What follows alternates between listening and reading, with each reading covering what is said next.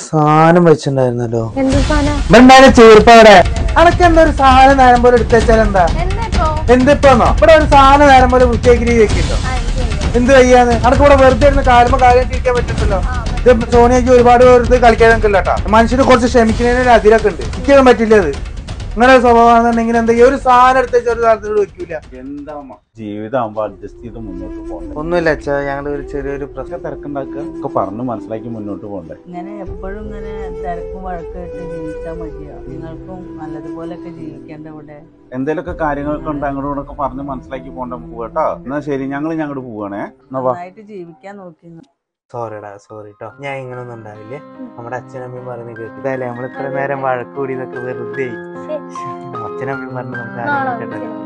സിനിമയ്ക്ക് പോവാണ് സിനിമയ്ക്ക് എന്താ പറയുക അച്ഛൻ ഏ? വാ വാ. പോയേക്കാം. അടുക്കളയെന്നാണല്ലോ നേരെ എന്നോട് ഞാൻ. ഞാനെന്താ വേണ്ടി? ചോറല്ലാതെ മേശപ്പുറത്ത് വിളമ്പി വെച്ചിട്ട് ചോറ് മേശോർത്ത് കൊണ്ടുവച്ചാ പോരാ. എനിക്ക് അവിടെ വിളമ്പി തരണ്ടേ ഒരു കടമണക്കുണ്ട് ഇത് കൊല്ലായല്ലോ ഈ വിളമ്പി തരൽ തുടങ്ങിയിട്ട്. ഇപ്പോഴും കഴിക്കാൻ ഇരുപത്തഞ്ച് കൊല്ലത്തിന്റെ കഥ പറയും ഇത് എന്ന് ഞാൻ കേൾക്കാൻ തുടങ്ങിയത് എന്റെ ഇരുപത്തി ഇരുപത്തി മുപ്പത് കൊല്ലം എന്ന് കഴിക്കണമെങ്കിൽ വേഗം പോയിട്ട് കഴിക്കുക അവിടെ മേശപ്പുറത്ത് ഇരിക്കുന്നുണ്ട് വെറുതെ ഡയലോഗ് പറഞ്ഞു ഞാൻ അവിടെ പോയി കഴിക്കാൻ കഴിക്കുന്ന സമയത്ത് വെള്ളം കിട്ടണം. വെള്ളം ഫസ്റ്റ് ഉണ്ടോ? ചോറ് വിളമ്പിക്കാൻ കിണ്ണുണ്ടോ? അല്ലെങ്കിൽ ഞാൻ അവിടെ വരൂട്ടോ ഒരു വരവ്. അതെ ഇജൊന്നും ഉണ്ടായിരുന്ന. ഇത് ഞങ്ങളെ കാര്യമാണ്. ഞങ്ങളെ സംസാരിക്കാണ് ഞങ്ങളെ ഉപദേശിച്ചിട്ട് നിങ്ങൾ ഇവിടെ തമ്മിൽ വഴക്കൂടുന്നില്ലേ? ഇതൊക്കെ ഇതിന്റെ ഭാഗങ്ങളാണ് സമാധാനത്തിന്റെ ചോറ് കളിക്കാൻ കഥ ബെസ്റ്റ് ഫാമിലി